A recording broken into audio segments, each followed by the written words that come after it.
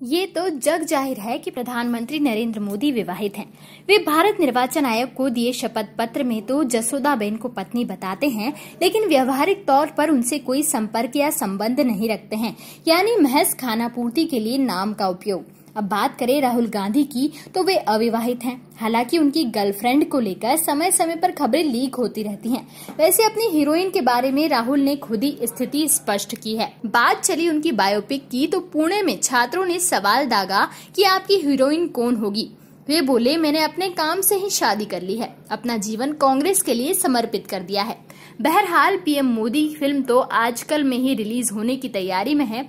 इससे पीएम की भूमिका ख्यात अभिनेता विवेक ओबरॉय कर रहे हैं। वहीं राहुल की बायोपिक भी बन रही है। इसमें अभिनेता अश्विनी कुमार राहुल की भूमिका में दिखाई देंगे। इस फ़िल्म में पीएम नरेंद्र मोदी की भूमिका हेमंत कपाड़िया निभा रहे हैं। कुछ समय पहले ही पूर्व प्रधानमंत्री डॉक्टर मनमोहन सिंह के जीवन पर बनी द एक्सीडेंटल प्राइम मिनिस्टर में अनुपम खैर ने मनमोहन सिंह की भूमिका निभाई थी।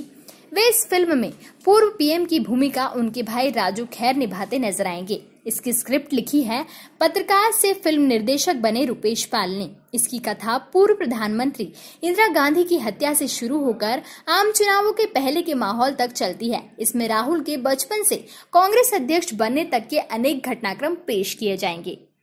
Subscribe our channel and press the bell icon for more updates.